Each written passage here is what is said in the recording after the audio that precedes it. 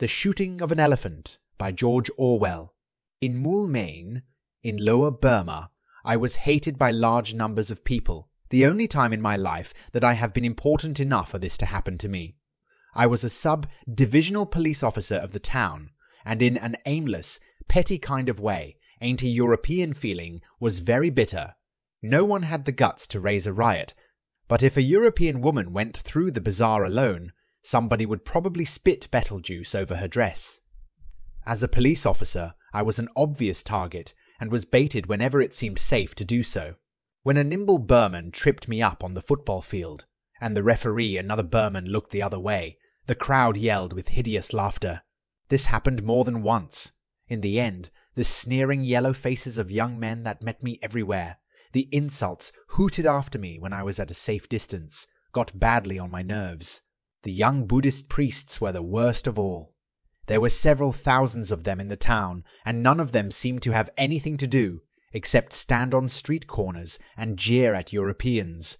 All this was perplexing and upsetting, for at that time I had already made up my mind that imperialism was an evil thing, and the sooner I chucked up my job and got out of it the better.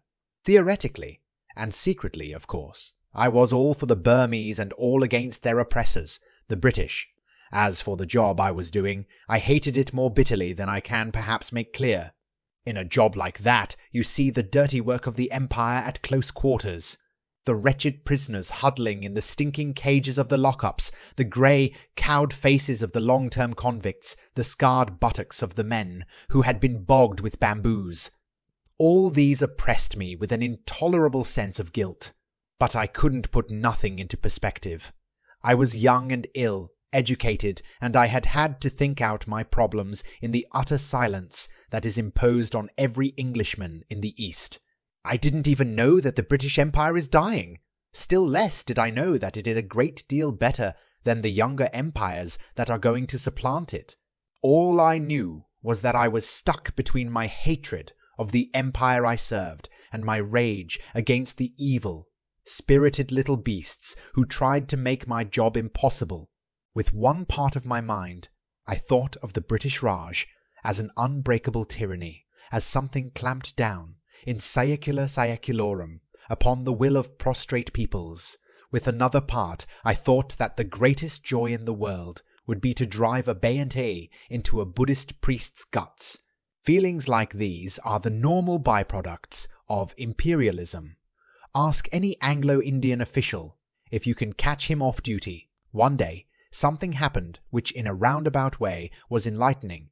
It was a tiny incident in itself, but it gave me a better glimpse than I had had before of the real nature of imperialism, the real motives for which despotic governments act. Early one morning, the sub inspector at a police station on the other end of the town rang me up on the phone and said that an elephant was ravaging the bazaar. Would I please come and do something about it? I did not know what I could do, but I wanted to see what was happening, and I got onto a pony and started out. I took my rifle an old 44 Winchester and much too small to kill an elephant, but I thought the noise might be useful in terrorem. Various Burmans stopped me on the way and told me about the elephant's doings. It was not, of course, a wild elephant, but a tame one which had gone must. It had been chained up, as tame elephants always are when their attack of musts is due, but on the previous night it had broken its chain and escaped. Its mahout, the only person who could manage it when it was in that state, had set out in pursuit, but had taken the wrong direction and was now twelve hours' journey away. And in the morning, the elephant had suddenly reappeared in the town. The Burmese population had no weapons and were quite helpless against it. It had already destroyed somebody's bamboo hut, killed a cow, and raided some fruit stalls and devoured the stock. Also, it had met the municipal rubbish van, and, when the driver jumped out and took to his heels, had turned the van over and inflicted violences upon it. The Burmese sub inspector and some Indian constables were waiting for me in the quarter where the elephant had been seen.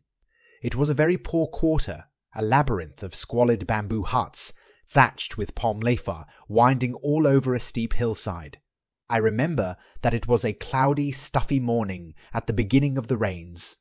we began questioning the people as to where the elephant had gone, and, as usual, failed to get any definite information. That is invariably the case in the East. A story always sounds clear enough at a distance, but the nearer you get to the scene of events, the vaguer it becomes. Some of the people said that the elephant had gone in one direction. Some said that he had gone in another. Some professed not even to have heard of any elephant. I had almost made up my mind that the whole story was a pack of lies when we heard yells a little distance away. There was a loud, scandalized cry of Go away, child! Go away this instant!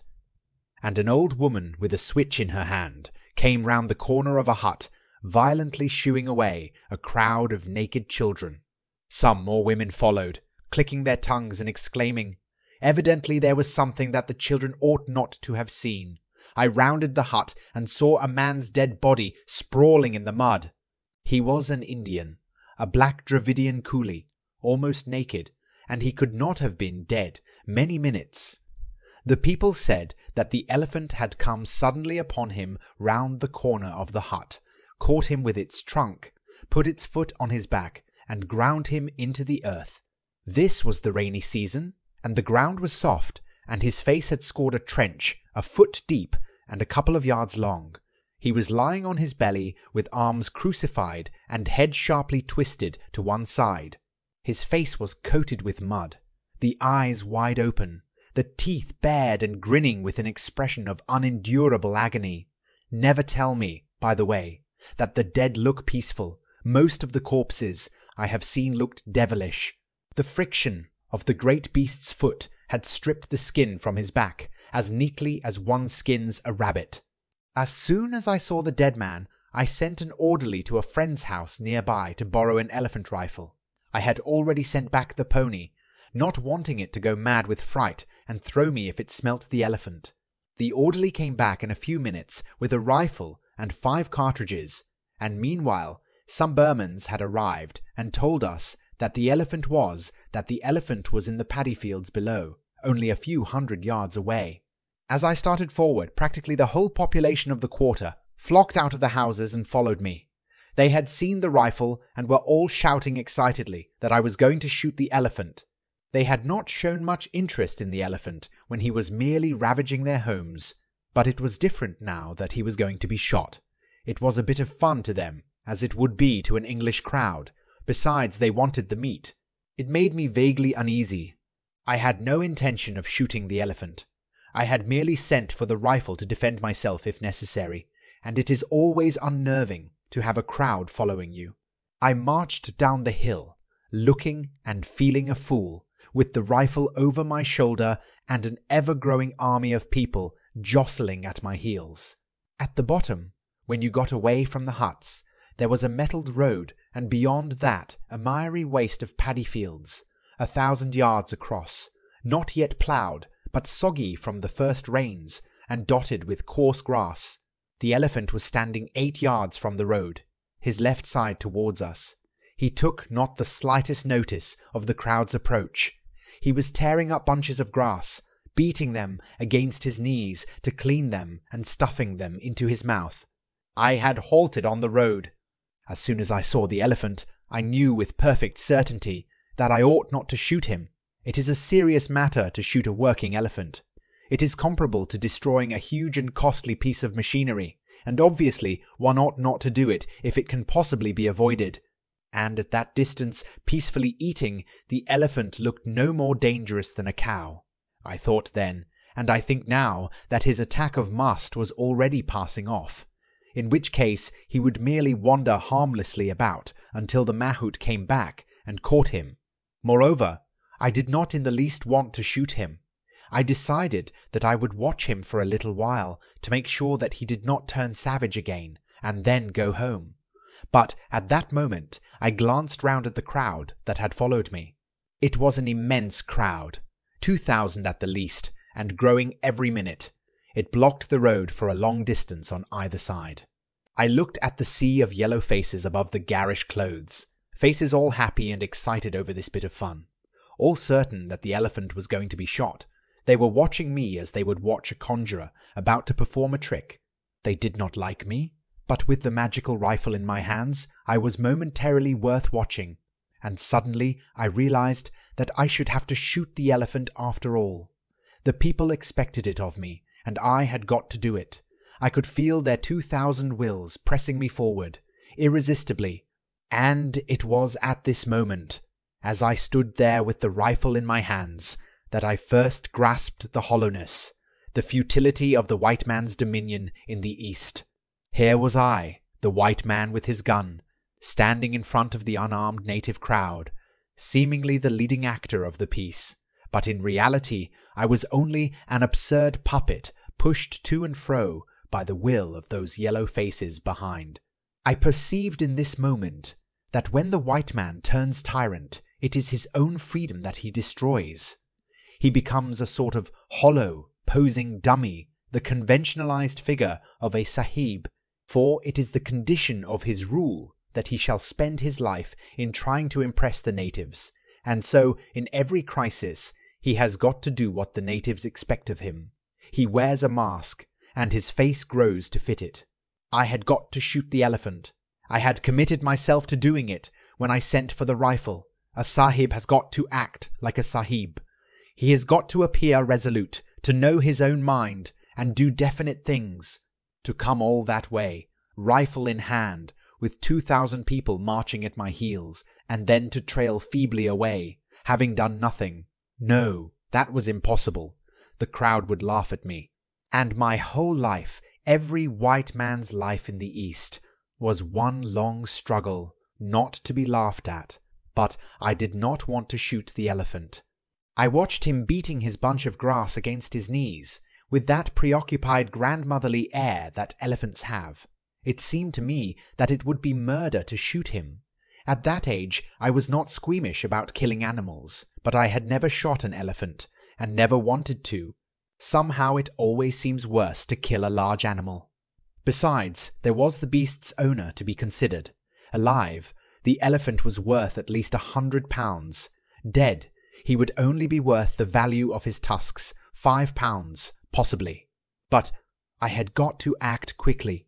I turned to some experienced looking Burmans who had been there when we arrived and asked them how the elephant had been behaving.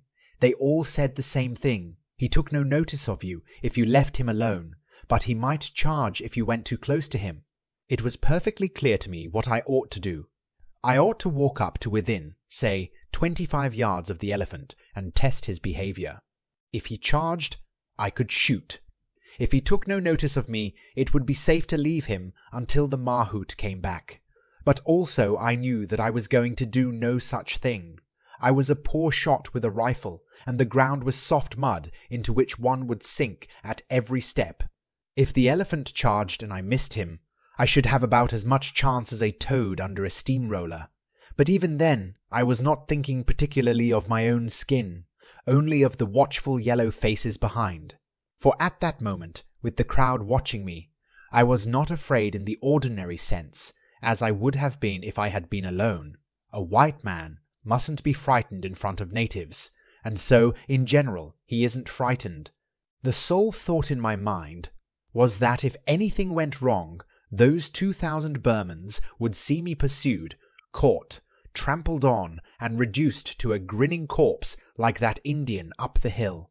And if that happened, it was quite probable that some of them would laugh. That would never do. There was only one alternative. I shoved the cartridges into the magazine and lay down on the road to get a better aim. The crowd grew very still, and a deep, low, happy sigh, as of people who see the theatre curtain go up at last, breathed from innumerable throats. They were going to have their bit of fun after all. The rifle was a beautiful German thing with crosshair sights.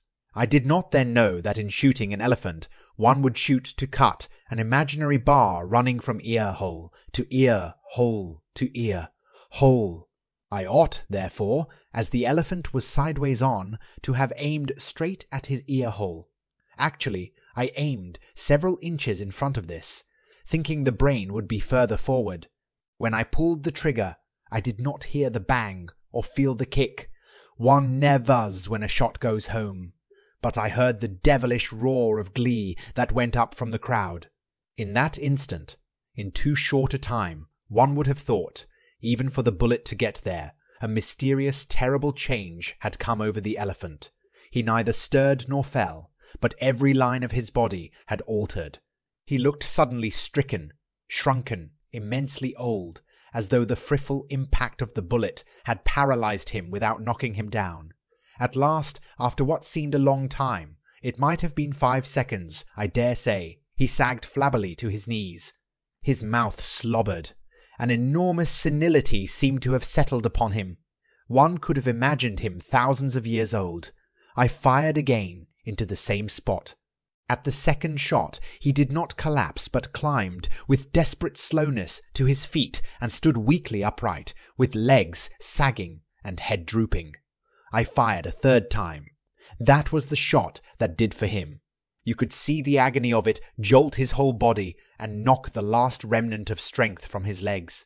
But in falling, he seemed for a moment to rise, for as his hind legs collapsed beneath him, he seemed to tower upward like a huge rock toppling, his trunk reaching skyward like a tree. He trumpeted for the first and only time.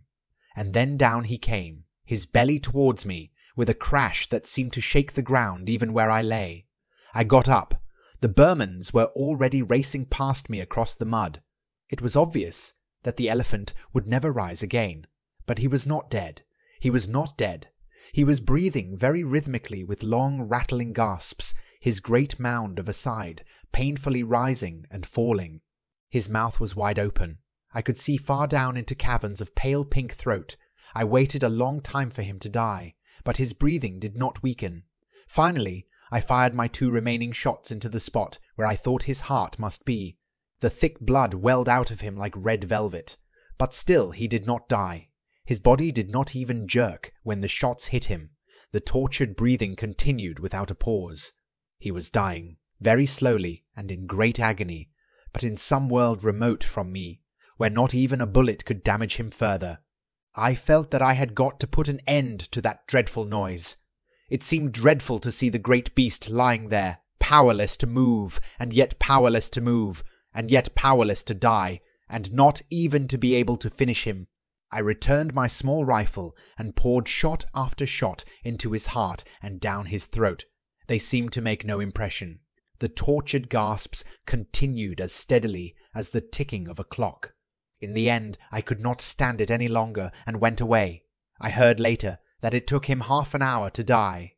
Burmans were bringing dahs and baskets even before I left, and I was told they had stripped his body almost to the bones by the afternoon. Afterwards, of course, there were endless discussions about the shooting of the elephant. The owner was furious, but he was only an Indian and could do nothing.